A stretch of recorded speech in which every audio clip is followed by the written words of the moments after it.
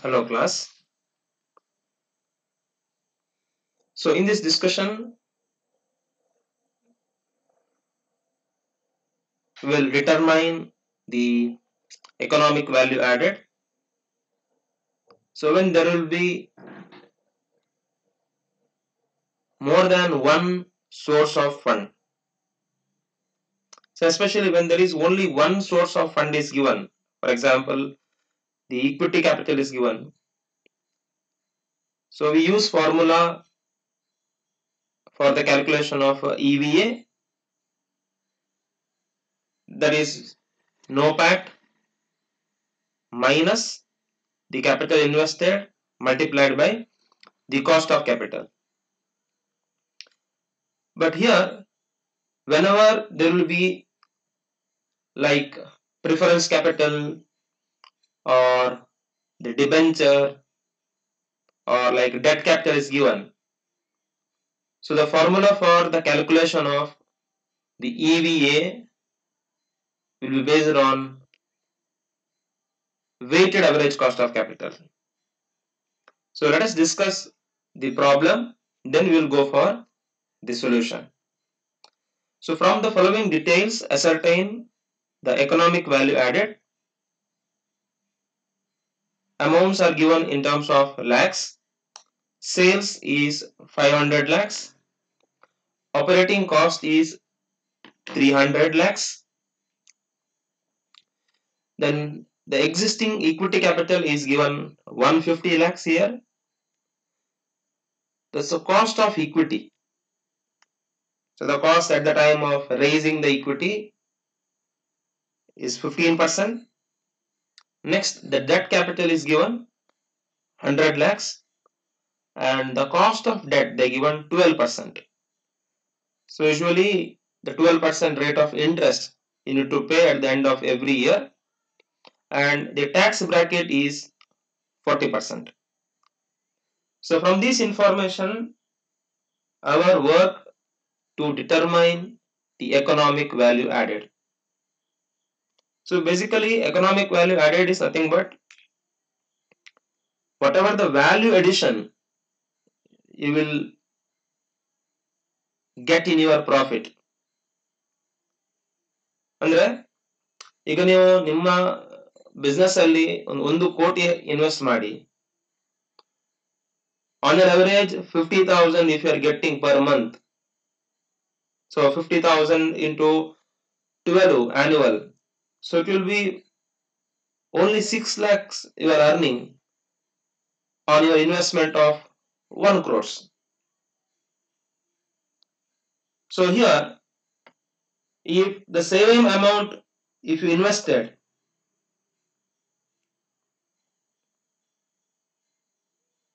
on any other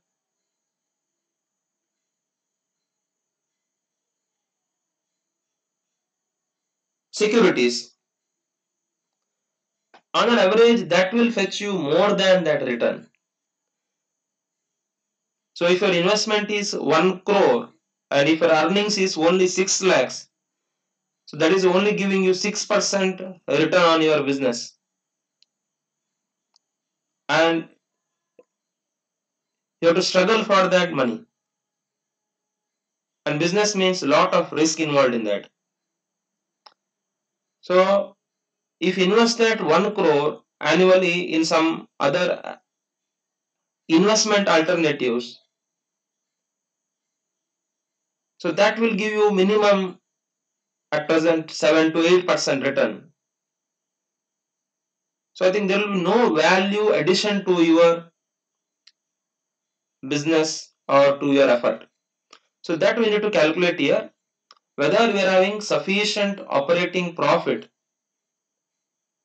to pay our cost. So that is the concept of EVA. Now I told whenever I think uh, you will be given two or more sources of funds. So the formula for the calculation of EVA will be like this.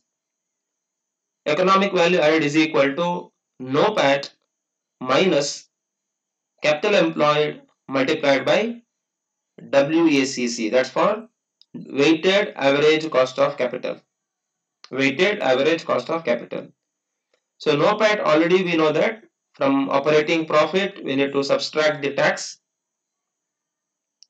Then weighted average cost of capital calculated like this.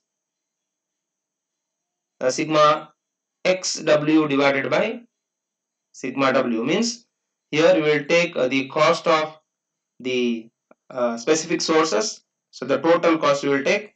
And here we will take the proportion of the specific sources. So let us work out the problem and we'll determine the EVA so step by step calculation will be done here. I think the first step we will have the determination of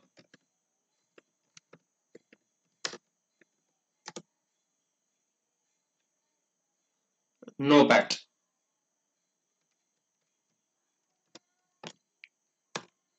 Because the formula will be like this EVA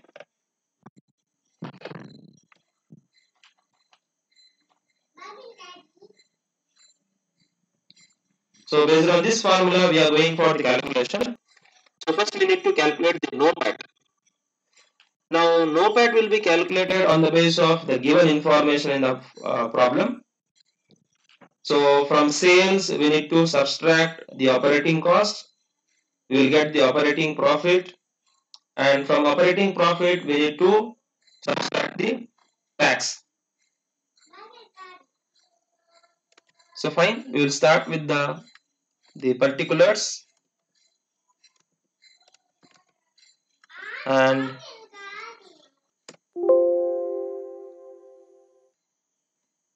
so we'll write the amount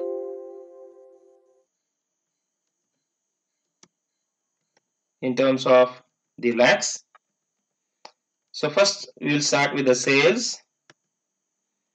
so sales ಎಷ್ಟು ಕೊಟ್ಟಿದ್ದಾರೆ problem ಅಲ್ಲಿ 500 lakhs so we'll write 500 lakhs less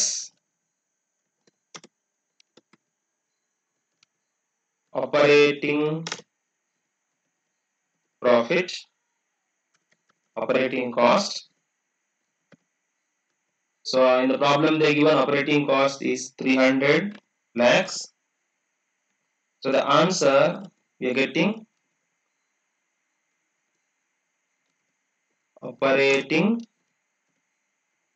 profit. So operating profit is equal to sales minus operating cost.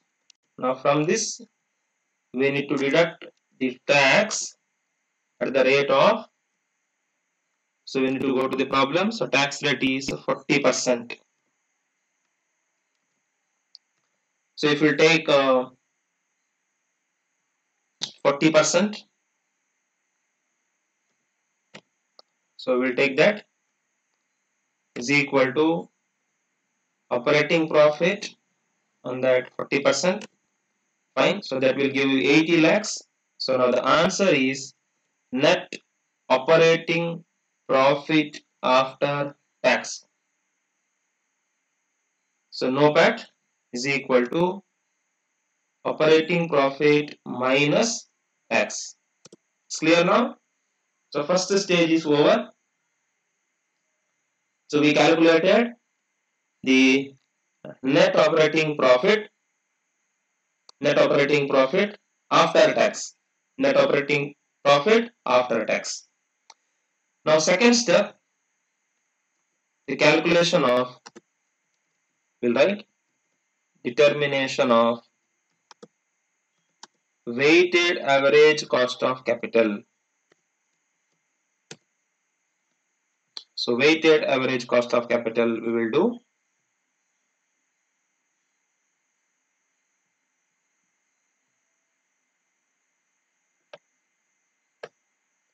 Now to calculate the WACC, we need to get the total cost of all the uh, source divided by the proportion of the specific source. So two things to be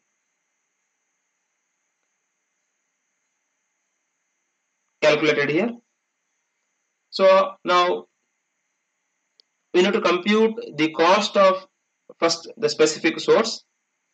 Then if we'll get the total then if we divide it by the proportion of that so definitely we will get the weighted average cost of capital. So first we will write get the cost of equity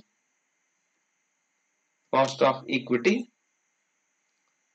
Now cost of equity you need to calculate on the base of the given information now the equity capital is 150 lakhs multiplied by the cost that is 15 percent. So what we have to do here? 150 lakhs into 15 percent. So that will give you the cost of equity so we'll do the calculation here. 150 then 15 percent. So if you multiply the two values you will get that. So that you will get 22.5 lakhs. Next cost of another source that is debt now the debt capital is given here 100 lakhs and the cost of debt is 12 percent. 100 lakhs multiplied by now we need to be careful here. So we can't take the given cost 12 percent. So usually the cost of debt will be like cost of debt is 1 minus t and means interest into 1 minus t. So after tax interest we need to take here. So from 12% we need to get the after tax interest. So that is the cost of that uh, we will have a calculation. 12% into 1 minus tax rate is given at 40%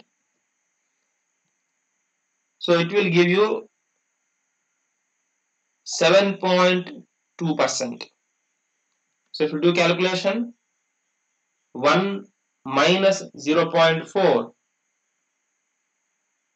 1 minus 0.4 so that will give you 0.6 0.6 into 12 percent. So that will give you 7.2 percent. 7.2 percent. So now you apply here uh, 0.72 so you will get the cost of debt. So that is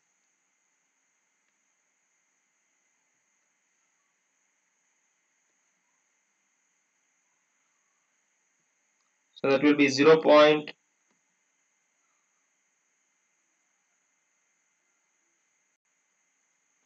Zero seven two because that is 7.2 percent so now the cost of debt will be calculated like this 100 into cost of debt that will give you 7.5 lakhs. 7.5 lakhs. So this will be the total cost of source. The cost of the total cost of the sources we will get. That is cost of equity plus the cost of debt next the proportion of the specific sources we need to calculate. That is nothing but the total capital employed. So total capital employed how will calculate? It is we are having two sources equity plus debt. Equity plus debt so equity here it is given plus debt. So that will give you 250 lakhs. So finally i think the WACC we can calculate. Weighted average cost of capital is equal to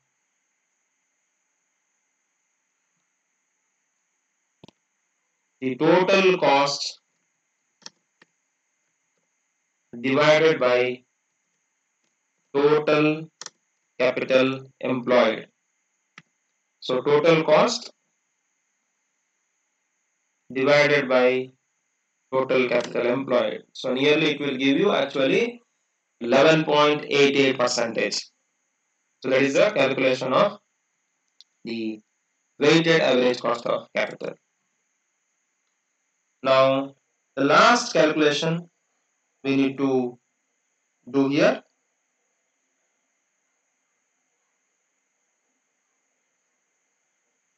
that is the calculation of the third one determination of determination of determination of the economic value added. So the formula for the calculation of determination of EVA is here. So we will take from this formula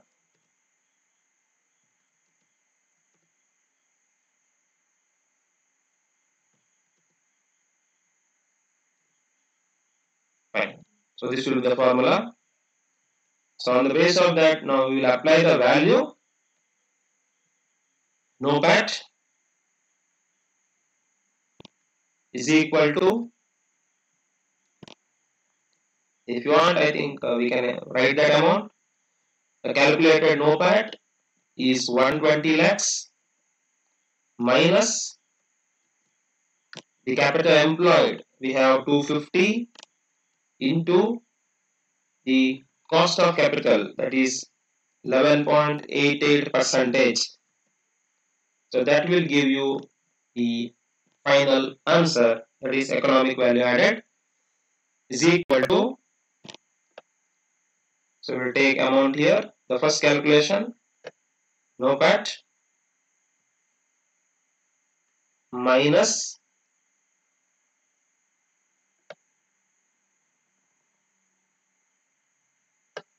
So open the bracket. Capital employed multiplied by the weighted average cost of capital. So finally you will get the economic value added of rupees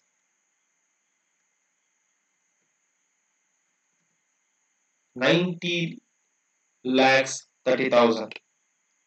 So 90 lakhs 30,000 means you have sufficient operating profit to pay your cost. So here from the operating profit usually you need to pay uh, the cost of capital or the capital cost. That is around you will get if you have to know that 250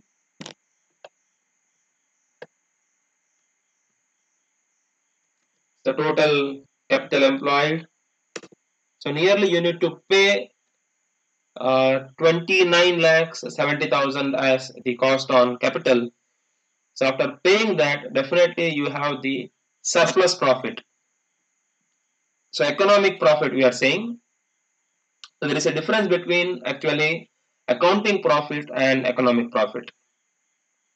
So here the firm is achieved that economic profit. So on and above the accounting profit, the firm is achieved surplus profit of 90 lakhs 30,000. So this is the explanation with reference to the calculation. So first we need to calculate the NOPAT as per the, the pro forma. Next we need to go for the computation of the weighted average cost of capital.